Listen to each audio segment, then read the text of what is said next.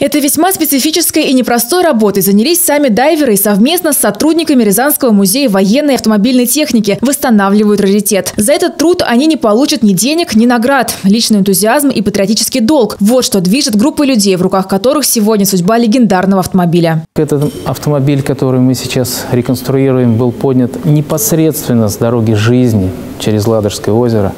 И за ним, за рулем сидел чей-то, наверное, дед – остался он жив или не остался. Мы пока исторически не выяснили еще. То есть есть номер двигателя, есть номер э, шасси. Пытаемся найти того человека, знаем общие списки.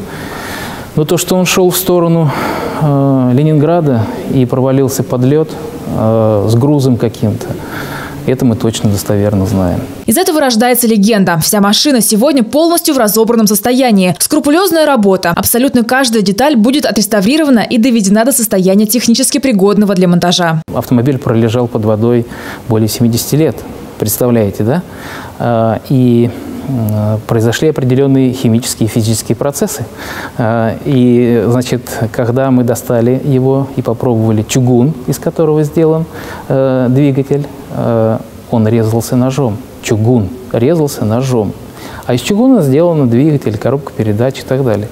И поэтому должны пройти обратные процессы физические по насыщению э, кислородом чугуна, и только после определенного времени можно приступать к каким-то работам. Кроме финансовых, приходится преодолевать множество других трудностей. Что такое автомобиль 37 года выпуска, представить сложно, и найти одну запчасть становится порой задачей не из легких.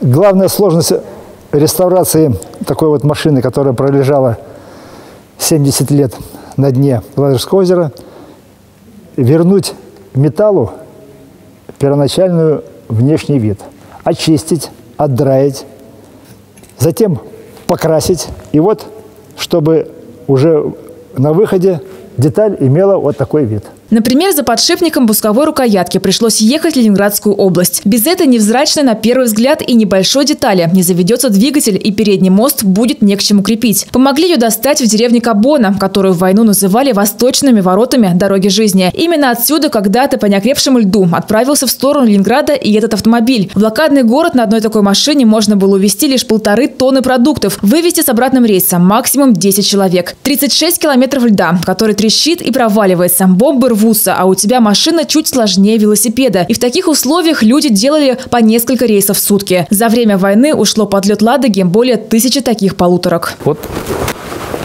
вот, посмотрите, вот это следующее наше, значит, э, то, что мы будем делать, это заднее прицепное устройство. Вот видите, что, в каком оно состоянии. На сегодняшний день собрали и полностью отреставрировали шасси, ходовую часть и частично кузов. Кстати, кузов был выполнен из дерева, и после нескольких десятилетий под водой от него остались лишь брус и несколько дощечек. Но дерево, сами понимаете, под водой 70 лет. Из всего того количества дерева на кузове сохранилось только один брус и три дощечки по-нормальному. Вот мы их в элементы кузова, мы их будем монтировать, и это будет кузов с историей, как в целом и автомобиль.